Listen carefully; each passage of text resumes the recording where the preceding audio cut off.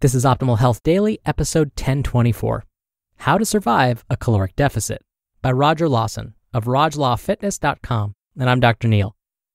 Hey, welcome back to Optimal Health Daily, or welcome for the first time if you're new here.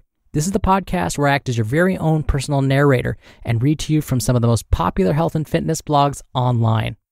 Now, before we get to today's post, don't forget for more inspiration, motivation, quotes, giveaways, and lots more, make sure you're on our mailing list at oldpodcast.com. But for now, let's get right to it and start optimizing your life. How to Survive a Caloric Deficit by Roger Lawson of RogLawFitness.com. In this diet game, there are rules.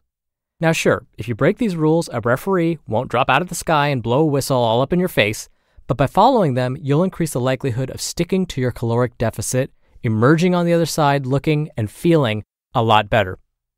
1. Secure home base. There is a tasty killer lurking in your house, and he is out to desexify your body. The most disturbing part of all this is that you're the one that let him in.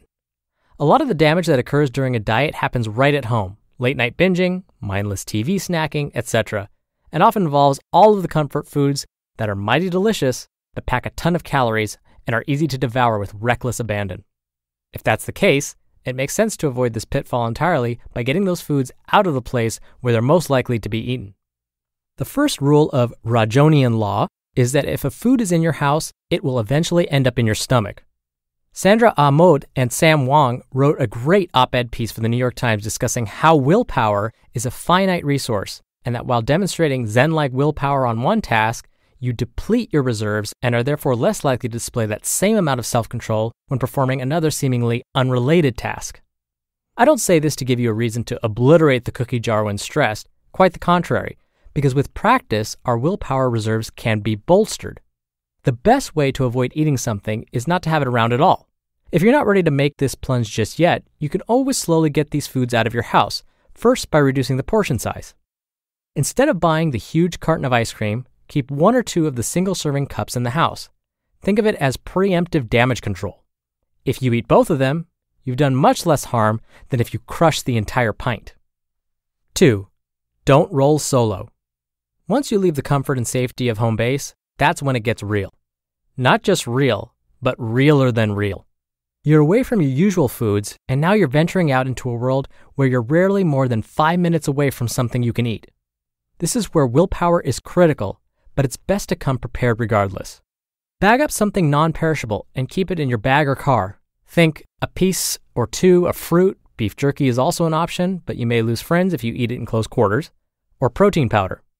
In those moments of dietary weakness, the simple act of getting something in your stomach helps you think more clearly and reduces the likelihood of an emotional eating episode. By employing this strategy, you don't have to go through the whole rigmarole of deciding between a piece of fruit or two ginormous slices of pizza with a piece of chocolate cake in between. You've already made a choice that will keep you on track towards your goals. 3. Prepare for battle. When on a diet, one fact that you're going to have to accept is that you're going to be hungry. Maybe not all the time and not ravishingly so, but you and hunger are going to be homies during this process. You're going to have to interact with other people while in a state of hunger, and this is where it becomes easy to fall off the wagon. If you create a caloric buffer or eat in line with your goals before you head out of the house, you can drastically decrease the chances of overeating food at a get together only to feel like about it later.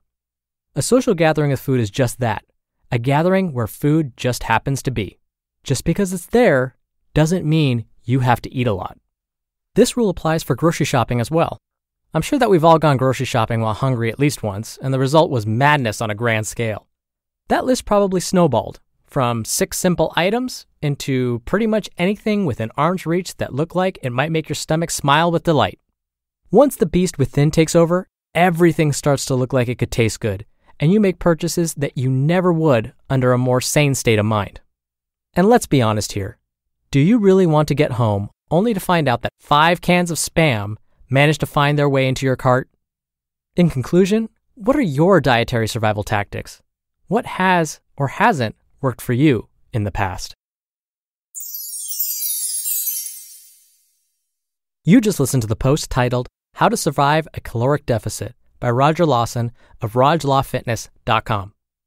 All right, that'll do it for today. I hope you have a great rest of your weekend. Thank you so much for being here. Thank you for listening every day. And I'll be back here tomorrow as usual. So I'll see you there where your optimal life awaits.